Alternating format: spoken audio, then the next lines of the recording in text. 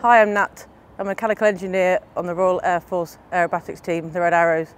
My day-to-day -day job involves looking after the fleet of aircraft and 37 personnel to make sure the rectification is suitable for the flying programme.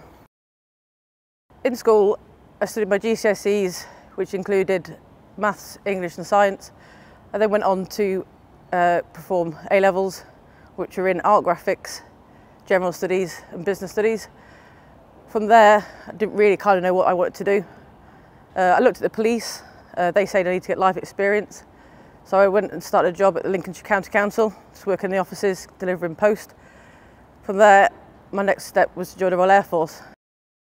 So in 2002, that's when I joined as a mechanical engineer. Uh, from there, I worked on the Nimrod aircraft, then onto Tornado, Typhoon, and now on the Hawks. Throughout my career, I've always wanted to work on the Red Arrows. So from gaining experience for all the multiple aircraft I've worked on, I finally got given the chance three years ago. When I started here, it was quite difficult. It's a team that you need to get integrated into. It, it took a while for me, but finally three years later, I've been given the privileged position of circus lead, which entails looking after nine engineers and a photographer throughout the season, transiting the back of the aircraft and making sure servicings are carried out and the aircraft are safe to perform each display.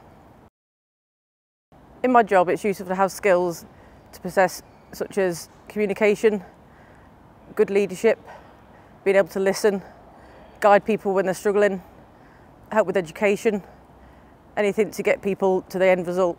Our end result is getting the aircraft in the air.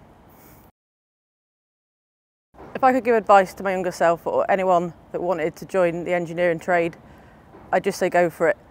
Anyone can do it with the right training and the right attitude. You'll get the great end result and you could end up in a job like this.